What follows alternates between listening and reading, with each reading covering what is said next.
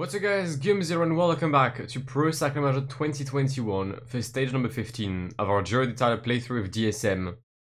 A sad day, because about 3 hours ago, Romain Bardet said goodbye to the Giro in real life. I did not expect it. Uh, so, so, yeah, uh, I even had the pink jersey today because I figured Romain could wear it in the upcoming days.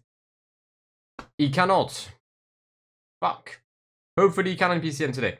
Rivarolo, Canavese, Cogne, we've got three climbs, Pilat-les-Fleurs, Verrogne, and the climbs toward Cogne. I don't know if it's in France or Switzerland or Italy, I don't know. Uh, but hopefully Romain can do well, let's go.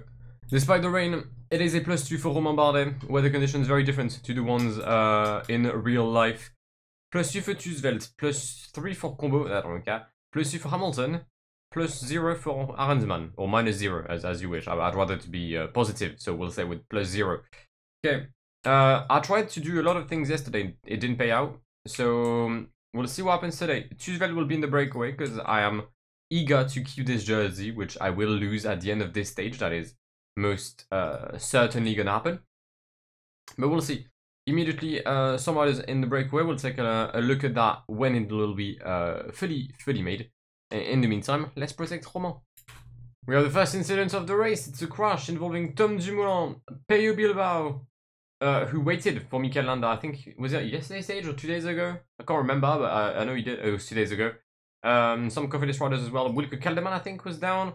Yeah, yeah, we go. Uh, so Kelderman, Buchmann, uh, and I think uh, that is it. That is indeed it. Simon Carr as well, if, if you want to put him in uh, in this list. But it's kind of forcing the peloton to pace. And interestingly enough, it is Bardiani pacing. Maybe because they didn't send someone in the breakaway, but they haven't done that for 14 days. It didn't, didn't seem to bother. So I, I'm, I'm, I'm confused. Okay, the race physiognomy is a bit weird. Um, so everyone came back in the peloton. Cataldo was the one pacing in the breakaway. He's now dropped. Um, Samitier attack, which is usually those attack they do uh, when you don't relay, which may may have been true. I may have not relayed. Uh, but um, yeah, I tried to attack again. I bridged. They're not relaying. Hindley did not, well, is the only one, sorry, pacing in the group behind. Because uh, Fortunato and Pozzovivo didn't seem very eager to do so as well.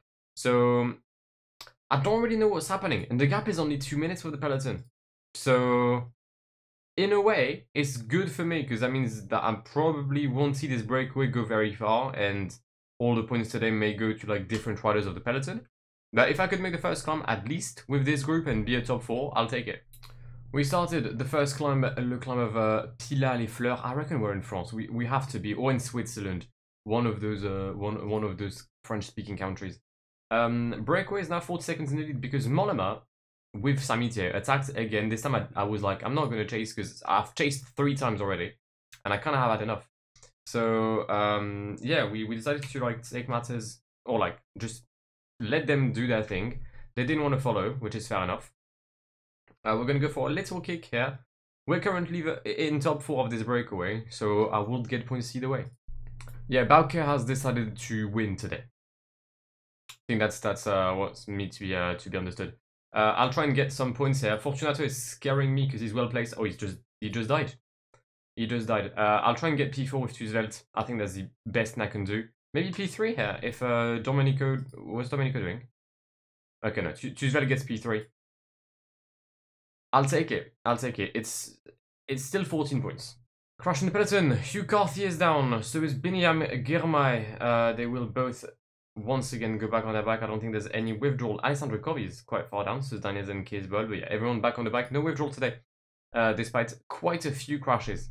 And the further we, well, the, the closer, sorry, we get to the line, the bigger the gap. 537 is the biggest gap we've seen so far in this stage for the breakaway.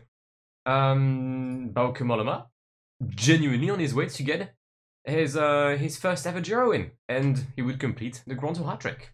Tusveld explodes with 1k to go with Domenico Pozzovivo. Uh, once again, it appears it's going to be 28 points today for Martin Tusveld. Jai Hindley uh, has gotten 60, so he's on 98.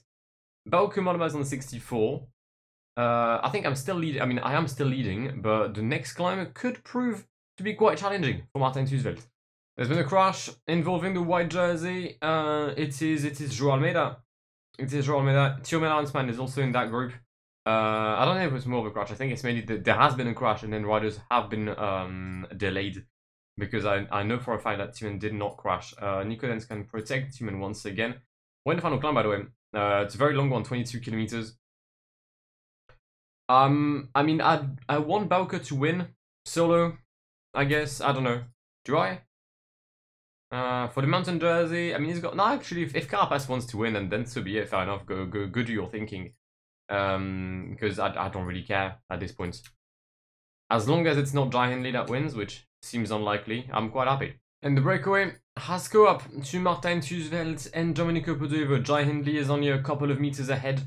Bauke Mollema well and truly in the lead, three minutes with 9k to go. We're getting blocked by everyone, and it is remarkable.